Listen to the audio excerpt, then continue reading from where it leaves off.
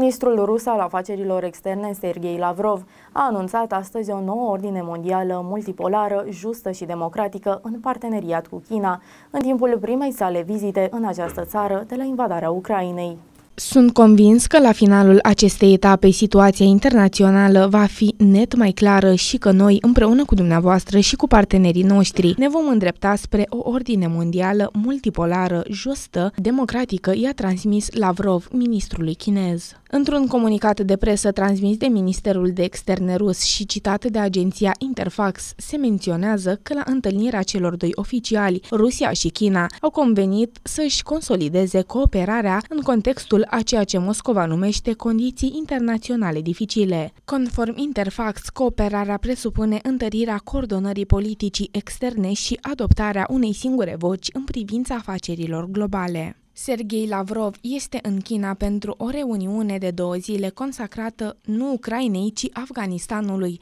și la care ar urma să participe și un diplomat american. China are o mică frontieră de 76 de kilometri la foarte mare altitudine cu Afganistanul și se teme de mult timp ca vecinul său să nu devină o bază pentru separatiștii și islamiștii de etnie uigură. Beijingul, care împărtășește cu Moscova o ostilitate afișată față de SUA, refuză de la 24 februarie să condamne invazia rusă în Ucraina, preferând să denunțe în schimb sancțiunile occidentale împotriva Rusiei